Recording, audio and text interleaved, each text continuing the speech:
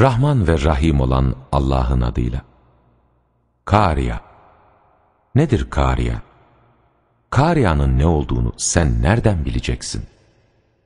O gün insanlar, saçılmış kelebekler, dağlarsa atılmış renkli yün gibi olacaktır. İşte o gün kimin tartıları ağır gelirse, o hoşnut olacağı bir yaşantı içinde olacaktır. Kimin tartıları da hafif gelirse, onun yurdu haviye olacaktır. Sen onun ne olduğunu nereden bileceksin? O çok kızgın bir ateştir.''